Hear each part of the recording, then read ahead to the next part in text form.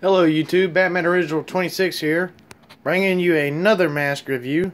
Today's mask, or should I say helmet, is my Hasbro Black Series Kylo Ren helmet that I bought off of eBay for about 130 bucks. These I got this back in January when they weren't released yet. But um this helmet is awesome. And if you don't have this helmet, you should get it. Because it's highly detailed. This one is a voice changer, but the voice changer isn't really that good. But the detail of the helmet is just awesome. Like it looks like Kylo Ren.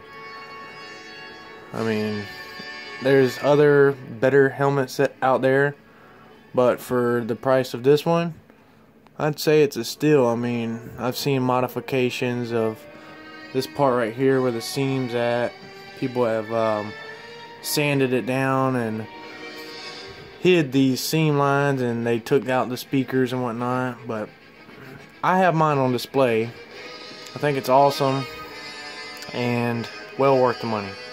If you're a big Star Wars fan and I'm a big Star Wars fan but uh yeah guys if you do not have this helmet you should get it it's a great thing to own and it's really cool.